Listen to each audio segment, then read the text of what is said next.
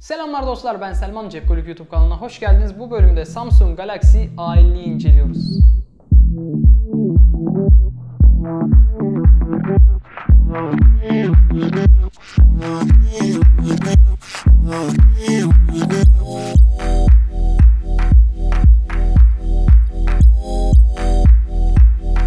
Cihazı elinize aldığınızda tasarımı direkt dikkatinizi çekiyor. Özellikle arka tarafta kullanılan cam yüzey gerçekten çok güzel bir renk kırılımına sahip.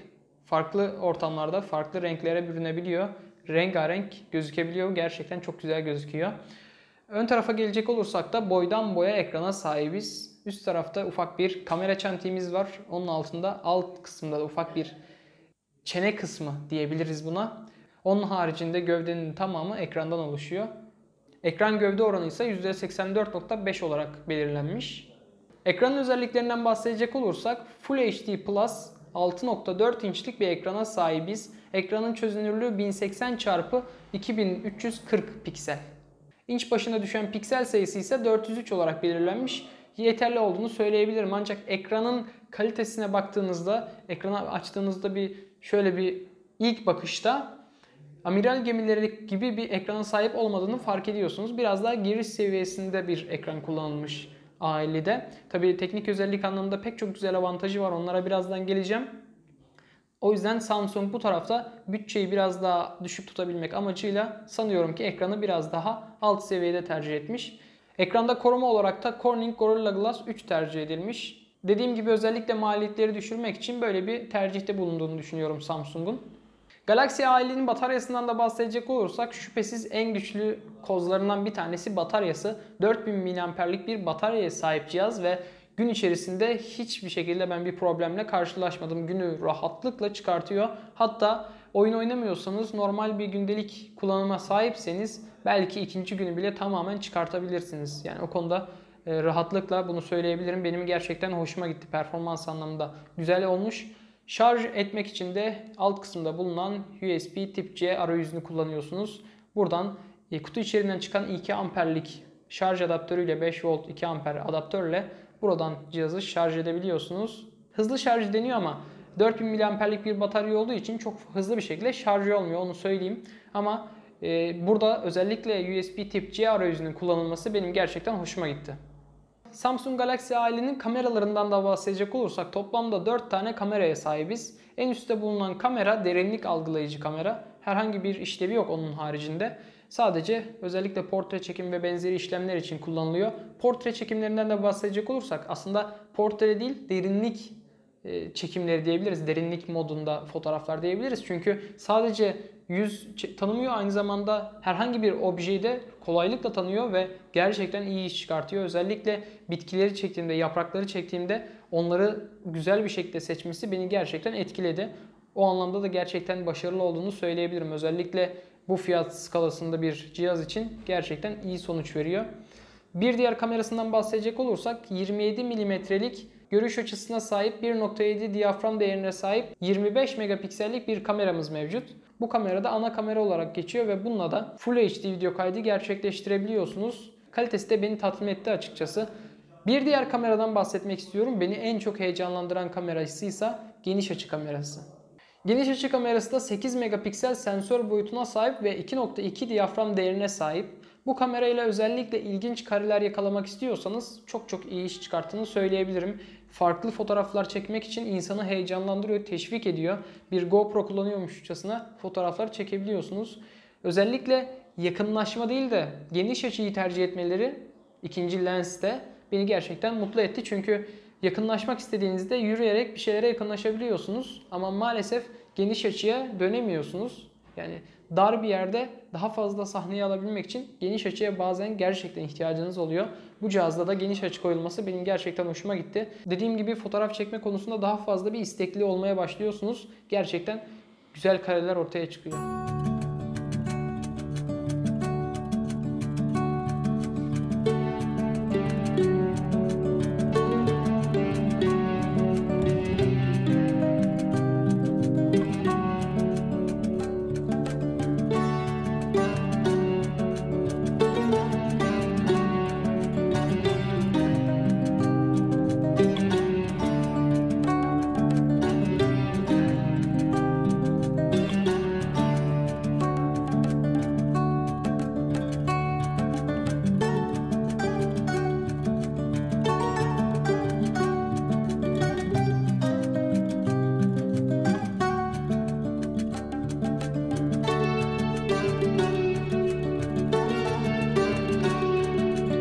Kamerasından da bahsedecek olursak 25 megapiksel sensör çözünürlüğüne sahip ve 1080p'de 30 fps video kaydı gerçekleştirebiliyorsunuz.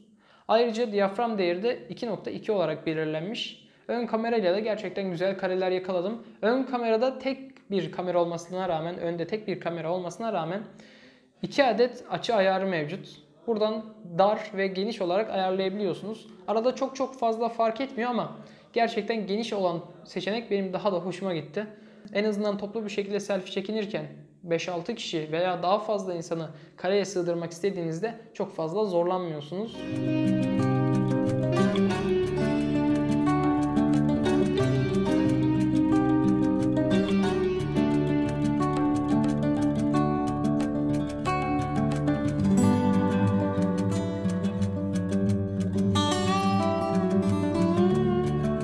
Videoyu Samsung Galaxy A50'nin ön kamerasıyla çekiyorum. 1080p video kaydı gerçekleştirebiliyorsunuz ve şu an video kaydını üzerindeki dahili mikrofonundan yapıyorum. Bakalım ses performansı nasıl birlikte görelim. Açı olarak da yeterli bir açı sunduğunu söyleyebilirim. Buraya 3 kişi rahatlıkla sığabilirsiniz. Hatta daha fazla bile sığdırılabilir.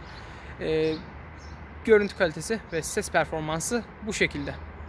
Galaxy A50'nin diğer teknik özelliklerinden bahsedecek olursak Exynos 7 serisinden 9610 işlemciye sahip 8 çekirdekli ve 2.3 GHz bandına kadar çalışıyor.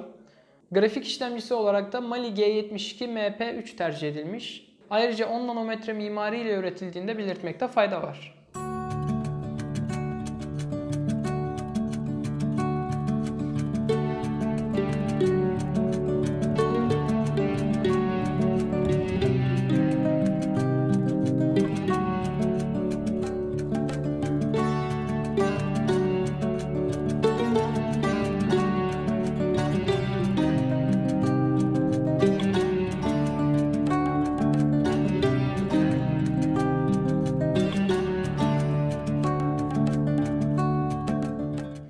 Galaxy A50 6 GB RAM ile birlikte geliyor ve 64 GB'lık dahili depolamaya sahip.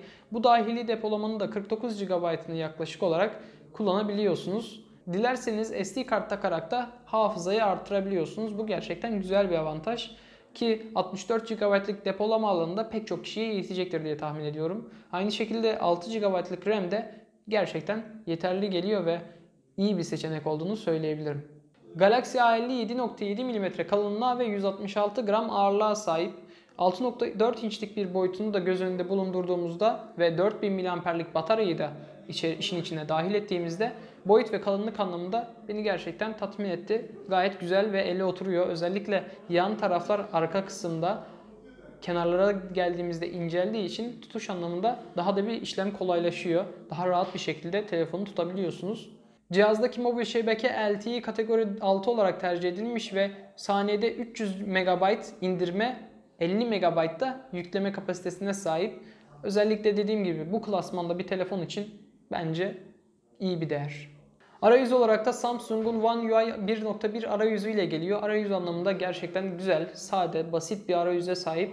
Dolma kasmayla da ben pek fazla karşılaşmadım. Arada birkaç defa kamera uygulamasında bazen problem yaşadım ama onun haricinde herhangi bir problemle karşılaşmadım. Stabil bir şekilde çalıştığını söyleyebilirim.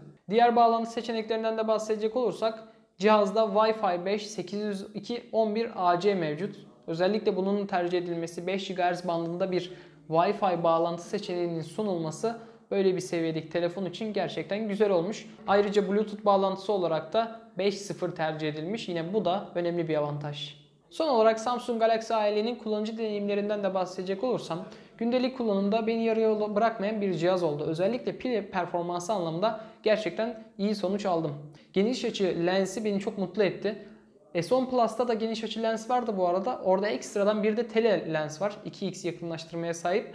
Ancak S10'daki, S10 Plus'taki geniş açı kamerayla video çekimi ben gerçekleştirememiştim. Bu cihazla video çekimi de gerçekleştirebiliyorsunuz geniş açıda. Bu gerçekten güzel bir avantaj olmuş. Dediğim gibi geniş açı özelliği gerçekten çok güzel, çok işe yarıyor ve farklı kareler yakalamanızı sağlıyor. Tasarım anlamında da özellikle arka tarafındaki bu farklı yüzey çok şık gözüküyor ve kılıfsız kullanmak istiyorsunuz gerçekten bu cihazı. Dayanıklılık anlamında da ben yere düşürmedim veya kibar davrandım cihazı ama şu ana kadar herhangi bir problemle de karşılaşmadım. Cihazın alt tarafındaki bağlantı seçeneklerinden de bahsedeyim. Samsung halen daha tüm telefonlarında 3.5 mm'lik jack girişine yer veriyor. Bu gerçekten çok güzel bir avantaj. Aynı zamanda USB tip C arayüzüne sahip olduğundan bahsetmiştim cihazın. Bu da özellikle son teknolojiye uyumluluk anlamında gerçekten önemli bir avantaj. Farklı cihazlarınızı aynı kabloyla şarj edebilmek için tip C arayüzüne geçiş yapılması beni gerçekten mutlu etti. Ancak şurada bunun altını çizmek istiyorum özellikle. Ee, burada kullanılan USB tip C arayüzü hız olarak USB 2.0'ı destekliyor. Yani buradan aktarım yapmak istediğinizde USB 2.0 hızıyla aktarım gerçekleştiriyorsunuz. 3.1 veya 3.2 ile gerçekleştiremiyorsunuz. Bu bir dezavantaj elbette ancak bu cihazda böyle bir seviyede cihazda rakiplerine de baktığımızda bazı rakipleri halen daha micro USB kullandığını düşünürsek Samsung'un burada en azından USB tip C arayüzüne geçiş yapması yeterli olmuş. USB girişinin yan tarafında da mikrofon ve hoparlöre yer verilmiş. Hoparlör performansı da bana yeterli geldi doğrusu. Az kalsın bahsetmeyi unutuyordum. Cihazın en çok dikkat çeken özelliklerinden birisi de ekrandan parmak izi okumaya sahip olması. Parmak izi ekrandan okuyor. Bu güzel bir avantaj ancak bazen yeterli performansta çalışmıyor. Yavaş ve aynı zamanda zaman zaman okumakta zorlanıyor. Tekrar tekrar parmağınızı basmanız gerekiyor. Ama buna alternatif olarak da yüz tanıma özelliği de mevcut. Ön kamerayı kullanarak Samsung Galaxy A50 yüzünüzü tanıyor ve böylelikle kilidi açabiliyorsunuz. Yine bu da güzel bir avantaj.